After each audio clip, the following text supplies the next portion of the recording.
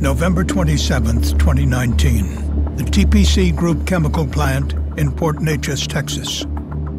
A release of highly flammable butadiene caused a series of explosions that could be felt up to 30 miles away.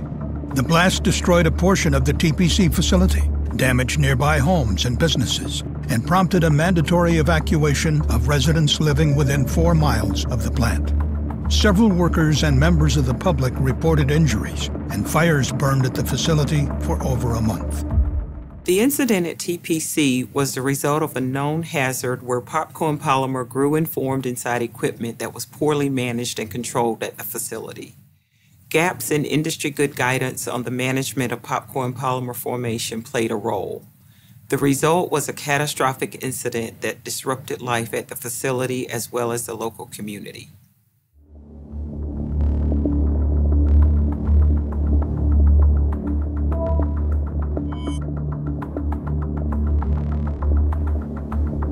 TPC is a petrochemical manufacturing company with several facilities along the Gulf Coast of Texas and Louisiana.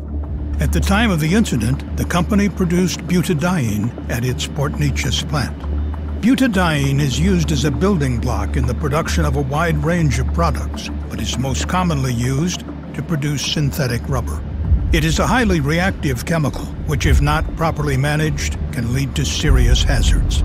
For instance, in the presence of oxygen, high-purity butadiene can undergo reactions to form a solid substance known as popcorn polymer.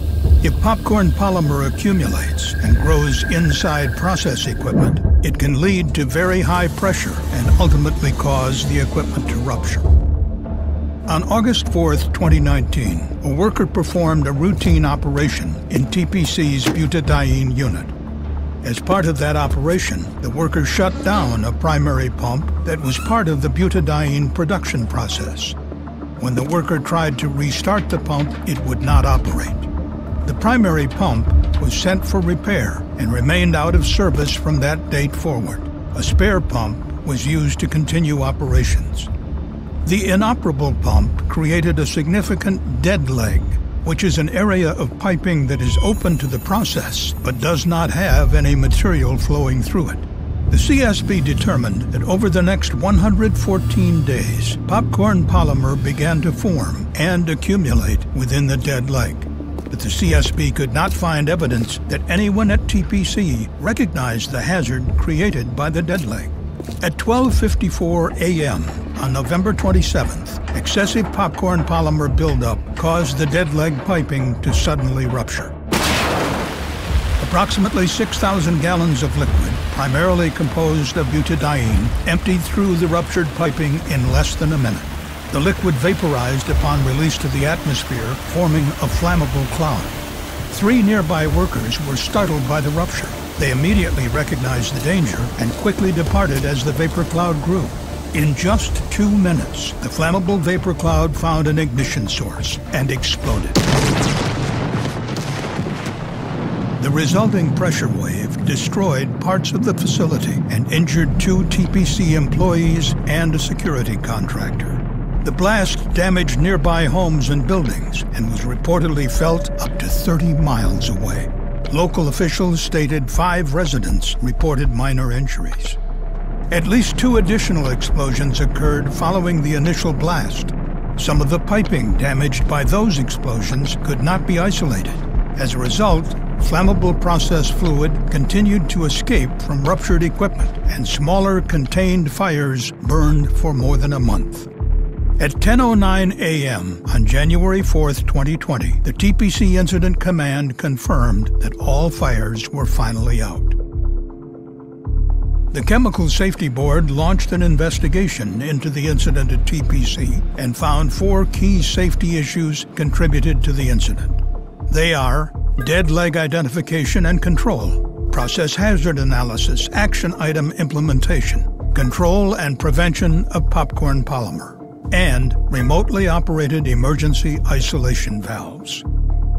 The first safety issue is dead leg identification and control. The TPC Port Neches facility had an operating procedure in place called Dead Legs in High Purity Butadiene Service that was intended to minimize the formation of popcorn polymer. The procedure called for running spare pumps within the unit twice per month in order to circulate material through piping that was connected to the pumps and was otherwise out of service, forming a dead leg. The procedure did not, however, identify the potential for a dead leg to form if the primary pump was out of service for an extended amount of time, which is what happened in the months leading to the incident. Therefore, the procedure did not specify ways to mitigate the hazard of popcorn polymer formation should the primary pump be offline. And the CSB found that although repair of the primary pump was initially prioritized as urgent, it was soon changed to routine due to the existence of the spare pump. This led to a dead leg that existed for at least 114 days, allowing dangerous levels of popcorn polymer to form and grow. Had TPC's procedure specifically identified the potential for a dead leg to form when the primary pump was offline, personnel may have taken action to prevent accumulation of popcorn polymer, such as prioritizing repair of the pump, purging the piping, or adding popcorn polymer inhibitor to the dead leg. Instead, TPC appeared to consider the offline pump as a threat to maintaining unit operation, not as a threat to process safety, and the result was the destruction of the unit. In its final report, the CSB made a recommendation to TPC Group to develop and implement a process to identify and control or eliminate dead legs in high purity butadiene service. In addition, the CSB identified gaps in industry guidance around the issue of dead legs in butadiene units. A guidance document developed by the American Chemistry Council called the Butadiene Product Stewardship Guidance Manual is designed to provide general information to companies that may handle or store butadiene. While the manual gives a general overview of popcorn polymer, it does not contain any information on the potential consequences of dead legs or how companies should identify, control, or prevent dead legs. The CSB believes that such additional guidance could have helped to prevent this incident and could help prevent similar incidents in the future. As a result, the CSB made a recommendation to the American Chemistry Council to revise its butadiene product stewardship guidance manual to include guidance on identifying and controlling or eliminating dead legs in high purity butadiene service.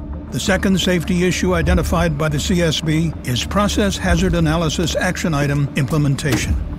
The CSB reviewed two process hazard analyses, or PHAs, that focused on TPC's butadiene process. In one of them, a PHA performed in 2016, the hazard of popcorn polymer accumulation causing low or no flow was identified. The PHA team made a recommendation to TPC to assure that when equipment is out of service for maintenance, the lines are still flushed monthly. TPC management accepted this recommendation and assigned a due date for implementation in December 2016, almost three years before the incident. But the CSB found the recommendation was never implemented.